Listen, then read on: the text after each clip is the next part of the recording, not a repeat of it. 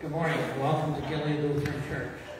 Um, as you can see, uh, the rain has decided that we should be inside for a week. Uh, announcements, Thursday will be pantry from 3 to 5. Also, September 11th, I believe it is, that's Saturday. Yes, September 11th is the chicken barbecue. Um, if you have not made your reservations, please, please do so. This tends to sell out. And again, it's from 4 to 6 p.m. Does anybody else have any other announcements? No? Enjoy your worship. Yeah. Yeah. It's okay. Mommy, I was just gonna say prayers for the Joe McMahon family. I family. get some sauce. For who? Joe McMahon, he passed away last night. All right, but everybody please pray for the Joe McMahon family as he had passed away last evening. Enjoy your worship.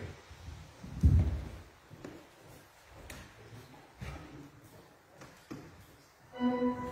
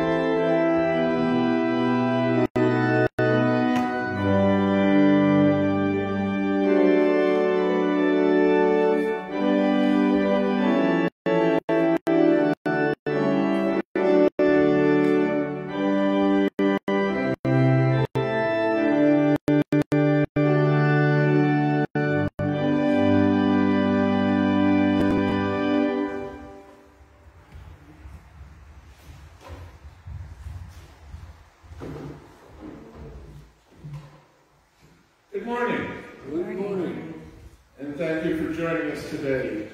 Here in the beauty of God's creation, well, that's outside of all rain and all that. Uh, or perhaps you're here to worship with us online, so either way, we are very blessed to have you with us this morning. Today is the first of five Sundays with the gospel readings that basically cover the entire chapter six of John's gospel. The first four of which focus on Jesus as the bread of life. You'll hear a little bit more about that in sermon, so stick around for that, of course. And today, Jesus feeds uh, thousands of people with just five loaves of fish, or five loaves. I don't know how you could have five loaves of fish, but five loaves, two fish. And uh, what we have, what we bring to Jesus' table, seems like it's never nearly enough to meet all the needs of those that we see around us. But it's not the adequacy of our supplies or our skills that finally makes the difference. It's the power of Jesus in us, working in the littlest and least to transform the world into what the, what the world that God desires. A word or a world where all hungry are fed. We begin though with our need to confess our sins and humbly seek God's forgiveness. Please stand as you are able.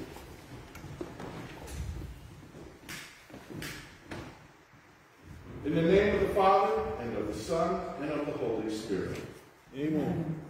Almighty God, to whom all hearts are open, all desires known, and from whom no secrets are hid. Cleanse the thoughts of our hearts by the inspiration of your Holy Spirit, that we may perfectly love you and worthily magnify your holy name through Jesus Christ our Lord. Amen. If we say we have no sin, we deceive ourselves and the truth is not in us. But if we confess our sins, God, who is faithful and just, will forgive our sins and cleanse us from all unrighteousness.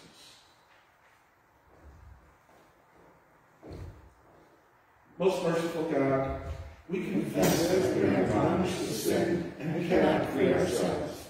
We have sinned against you in thought, word, and deed, by what we have done and by what we have left undone. We have not loved you with our whole heart. We have not loved our neighbors as ourselves. For the sake of your Son, Jesus Christ, have mercy on us. Forgive us, renew us, and lead us, so that we may delight in your will and walk in your ways, to the glory of your holy name. Amen. In the mercy of Almighty God, Jesus Christ was given to die for you. And for his sake, God forgives you of all your sins. To those who believe in Jesus Christ, he gives the power to become children of God. Bestows on them the Holy Spirit. The peace of the Lord be with you always. And also with you. We'll share with each other a sign of that peace in whichever way that you are comfortable doing so.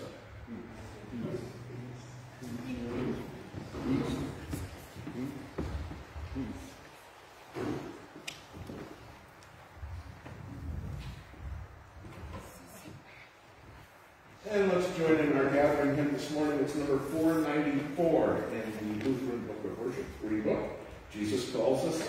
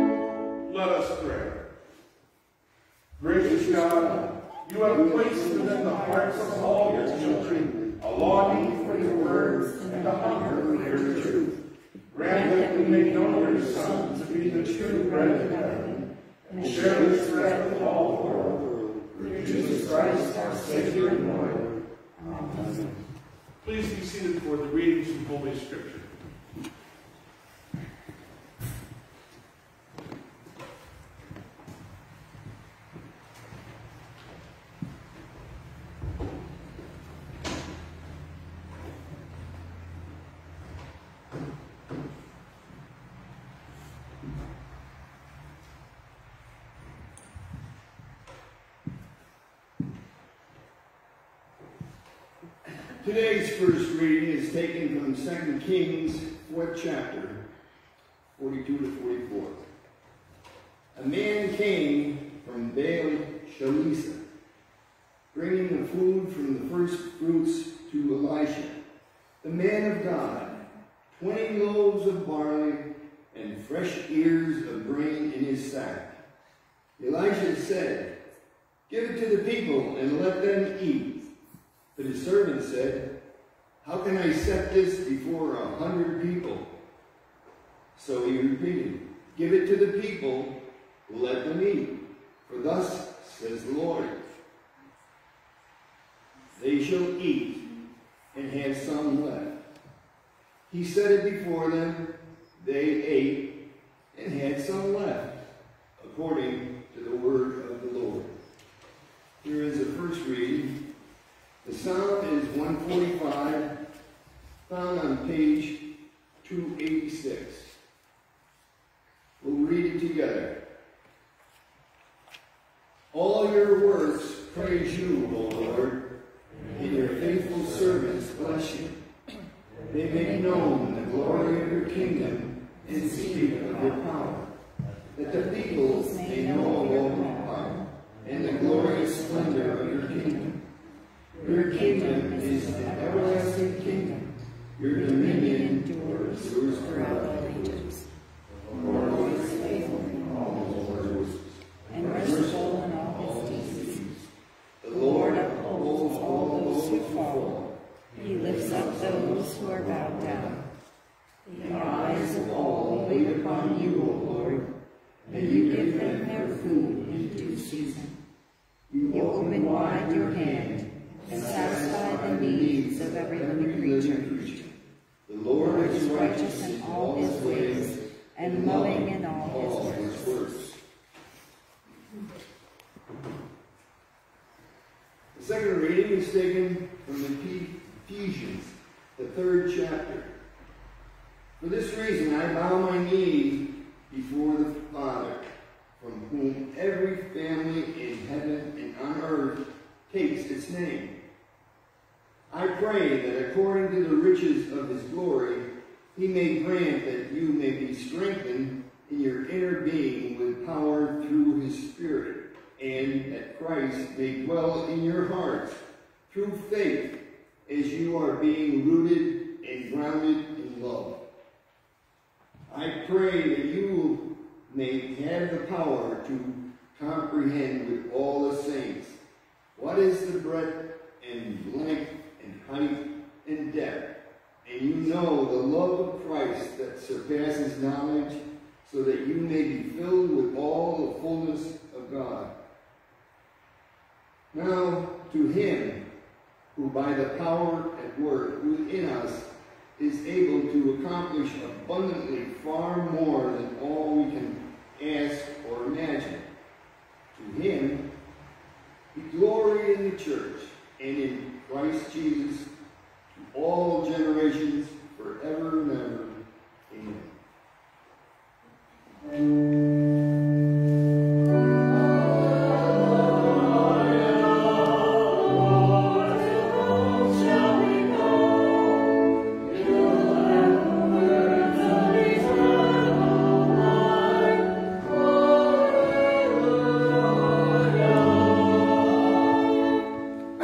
In John's Gospel, the miracles of Jesus are called signs because they reveal the true character of God. And as such, they remain within the mystery of God and cannot be brought under control by humans. It's a reading from the Holy Gospel according to John, the sixth chapter.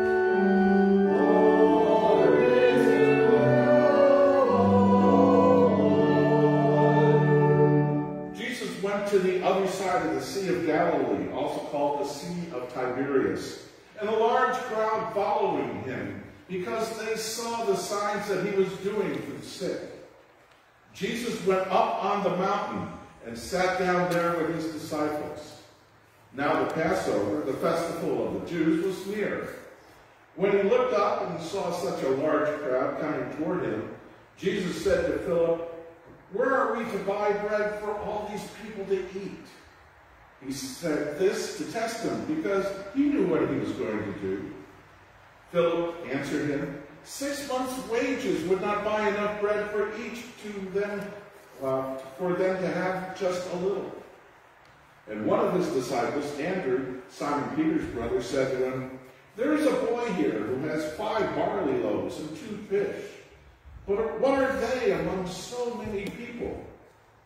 Jesus said, Make the people sit down. Now there was a great deal of grass in the place, so they sat down, about 5,000 in all. And then Jesus took the loaves, and when he had given thanks, he distributed them to those who were seated. So also the fish, as much as they wanted. When they were satisfied, he told his disciples, Gather up the fragments left over so that nothing may be lost. So they gathered them up from the fragments of the five barley loaves left by those who had eaten. They filled twelve baskets.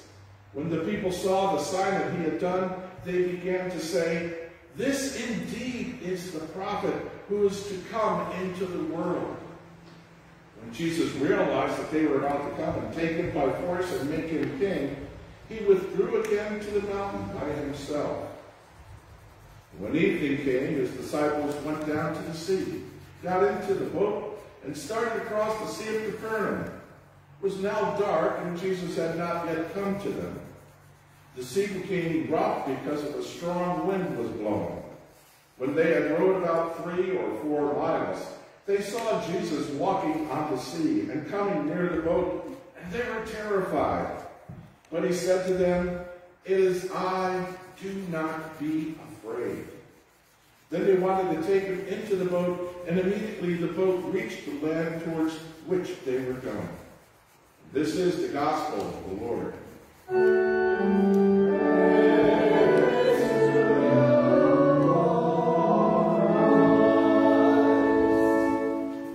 It is I, do not be afraid. May the words of my mouth and the meditation of my heart be found pleasing to you, O Lord, my rock and my redeemer. This past week, Radio Classics on satellite radio has been running a Christmas in July theme all week long. Basically, it's uh, episodes of old time, old time radio shows, both comedies and dramas, mainly from the golden age of radio of the 40s and 50s, which centered on Christmas themes. I am too young. I really love saying too young. Uh, anyway, I am too young to remember when those shows were first run on the radio. I do remember, however, being a kid in the 60s. Yes, I guess I'm that young too. Anyway, going to the small rustic church in the town of Grove Lake in Fulton County in the summertime, uh, which is basically only open for worship in the summer on Sundays from Memorial Day weekend to Labor Day weekend. My grandfather had a camp there, other than going to Johnstown and Roseville, this little chapel felt very nicely, thank you. I mean, it was sort of like any kind of leftover things that you could make a church out of it was. None of the pews really matched. Some of them did. All the chairs mismatched all over the place. It was, but it was nice.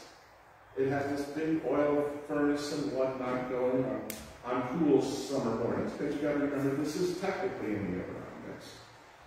One of the things um, I also noticed that uh, in July, they always had a sort of a Christmas in July stewardship campaign because being a seasonal chapel, they would never be open on Christmas and when typically and uh, traditionally a large offering would be collected. But there's also another Christmas thing I remember about the 60s, and I think it lasted a couple of decades after that. It might even made it to the turn of the century. I'm not really sure. But I'm pretty sure that you probably remember the billboards uh, that the Freihofer Bakery Company would put up every year around the holidays. It featured the image of that young blonde sunbeam girl eating a slice of buttered sunbeam bread on a starlit background with one star brighter than the others and the caption read, Not by bread alone, with three dots after the word alone. Of course, that, those dots alluded to the rest of the biblical verse out of Matthew 4, verse 4, which reads, Man does not live by bread alone, but on every word that comes out of the mouth of God. Familiar words, to be sure, but maybe, just maybe we never gave it uh, any kind of deeper thought other than God is an important aspect in our lives. But over the uh, next several weeks, like I mentioned, the gospel readings aside will focus solely on John chapter 6. And six times the subject will be bread. Not just any bread, but the bread of life. Oddly enough, that not by bread alone passage is not included in John's Gospel, where Jesus' discourse about bread that we'll hear in the Gospel readings from John in the coming weeks. But that's okay, as there's plenty of other bread references to expand on. Like I said, you got six of them so. In fact, here's one that happens even before the miracle, or as John the Evangelist calls, signs, that occurs in today's Gospel passage.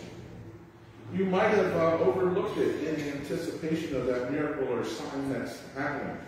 So let's take another look at just one of the verses in the Gospel, verse 10. Jesus said, Make the people sit down. Now there was plenty of grass in the place, so they sat down. Sound familiar? Maybe something from the Old Testament? You could be saying, sure, well, we had that first reading this morning from Ezekiel. They talked about, you know, bread and things like that. But the thing is that in verse 10 of the Gospel, nobody's eating anything yet. I'll repeat verse 10 to you, and then give you the Old Testament verse kind of matches up with it. Okay, I'll even give you a little hint. It's from the book of Psalms. And in fact, was the sign that was a sign for last Sunday. In verse 10. Jesus said, Make the people sit down. Now there was a great deal of grass in the place, so they sat down. And that similar verse from the Psalms, He makes me lie down in green pastures. Yeah, corresponds very nicely with Psalm 23. For indeed, Jesus in today's gospel reading is actually being the good shepherd who not only makes his people lie down in green pastures, or as it states in today's gospel passage, that there was a great deal of grass there, but that God also provides more than enough, as verse 11 testifies. Then Jesus took loaves, and when he had given thanks, he distributed them to all who were seated. So also the fish, as much as they wanted. Sounds like 23 again. You spread a table before me, and my cup runneth over. Indeed, there is an abundance when it comes to Jesus being the bread of life. And it isn't a one-time only shot like we heard in today's gospel. True, the thousands of people who were witnesses and recipients of this miracle or sign wanted more, more, more. But they were more focused on the bread aspect rather than on the bread of life aspect. Like it basically states in the gospel, after they were fed and all the leftovers were collected, the people realized that God was at work among them in what Jesus had just done. They said, This is a prophet for sure. God's prophet right here in Galilee. And Jesus saw in their enthusiasm that they were about to grab him and make him king. Hmm. Grab him and make him king. Nice sentiment, but folks, that's not what Jesus' ministry and mission was or is all about. But instead, for those gathered who were made to lie down in green pastures and had, for all intents and purposes, had a table spread before them and their cups running over with abundance to eat. You find yourself getting caught up in the. You then realize what just happened. You agree with everyone around you that this is indeed the prophet who is to come into the world. Then that this is the prophet for sure, God's prophet right here in Galilee. So you figure that if he can do things like feed us and cure our sick and all these other signs, well, you heard what that he did. Not to mention hearing those words that he spoke, how they went to your very heart and soul. Well, the only logical thing to do is make him king. Yeah, let's make, that makes perfect sense. Let's make him king. After all, he's, he's got to be the person that the prophets had foretold that would be coming to us. However, we cannot delay. Time is of, of essence because, you know, he travels from town to town. So if we're going to make him king, it needs to be done immediately. But when you get together with others and head up to where he was, Good. you don't find him. Just the apostles. But Jesus is nowhere to be seen. Where did he go? Didn't he hear that he, we wanted to make him king? He must have known that. But he realized that all you need to do is follow him. But that was the problem. They only wanted to physically follow.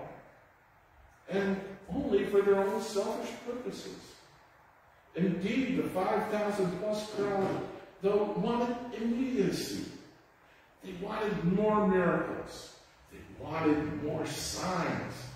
And if we make him king, well, we can kiss those Roman occupiers. Goodbye, good riddance. So we better follow him. We better find him and follow him. My brothers and sisters in Christ, what about us? Are we trying to find him? And more importantly, why are we trying to find him? Are we trying to find him so that he can fix everything? Well, occasional miracle would help, like those that we heard in today's gospel following Jesus, it's an ongoing process. It's a lifelong process. No quick fixes. So I ask you, are you still interested? Are we like the multitude wondering what Jesus can do for us? Wanting to follow Jesus? Sure, but for all the wrong reasons? Seeking something immediate and short-sighted like bread, but not the bread of life which is eternal? Or immediate and short-sighted like our own needs and wants, not those of our neighbors? We don't even care about the neighbors. We've gotta look out for number one. No, it doesn't work like that. If we are to follow Jesus, remember this. Wasn't Jesus' ministry focused on others? Remember, man does not live by bread alone, but on every word that comes out of the mouth of God. And indeed, the words that come out of the mouth of God are truly fulfilling and truly life sustaining. And so it just makes sense that we follow Jesus always, and more importantly, for all the right reasons, so that we can put into practice those words we hear, that they become for each one of us an integral part of who we are, the bread of life, and a true follower of Jesus Christ, our Lord and Savior.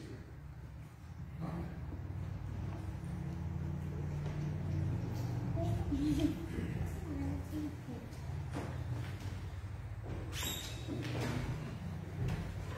Our hymn of the day is number 235. 235,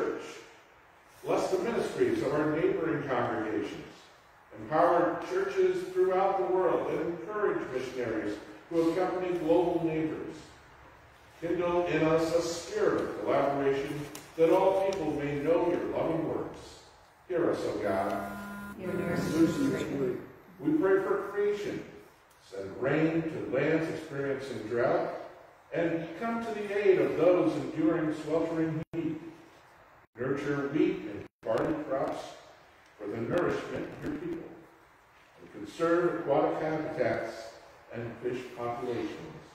Hear us, O God. Your mercy is great. We pray for those who govern. Cast out arrogance, selfishness, and corruption, and instruct those who to, and instruct those who lead to practice compassion and humility. Inspire them with a vision of the common good and a commitment to ensure that all who hunger will be fed. Hear us, O God. Your mercy is great. We pray for those bowed down by heavy burdens, those who are unemployed or underemployed, those unable to find affordable housing, and those without health insurance. Console those who grieve and hear the cries of those who call to you for healing, whether of mind, body, or spirit, including those dealing with addictions and those who are struggling in abusive relationships. We especially lift up those in need of your healing touch, whether listed in our bulletin or they are in our thoughts at this moment. Hear us, O God. Your mercy is great. We pray for this assembly here at Gilead Lutheran Church. Deepen our resolve to use what we have to serve those in need. When we worry that we don't have enough resources for ministry, assure us of your abundance. Hear us, O God. Your mercy is great. All-knowing God, we now lift up to you in silence those hopes and concerns that you alone can see written upon our hearts at this moment.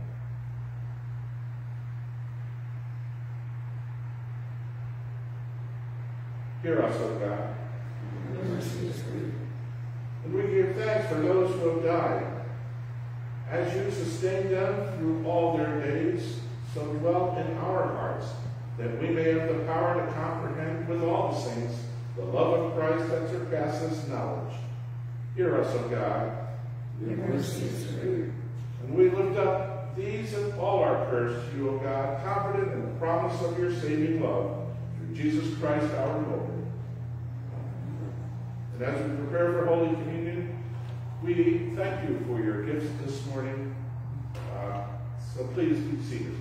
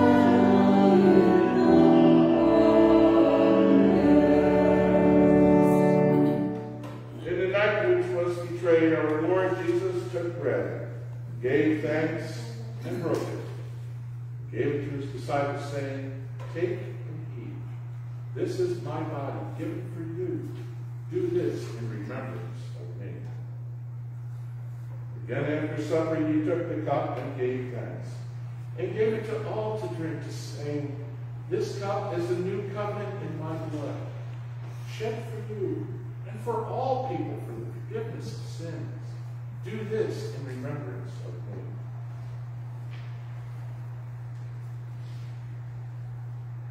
For it is with him, for him, for it is through him, with him, and in him. In the unity of the Holy Spirit, all honor and glory are yours, Almighty Father, now and forever. Amen. And gathered into one by the Holy Spirit, let us pray as Jesus taught us. Our Father, who art in heaven, hallowed be thy name. Thy kingdom come, thy will be done, on earth as it is in heaven. Give us this day our daily bread, and forgive us our trespasses, as we forgive those who trespass against us. And lead us not into temptation, but deliver us from evil. For thine is the kingdom, and the power, and the glory, forever and ever.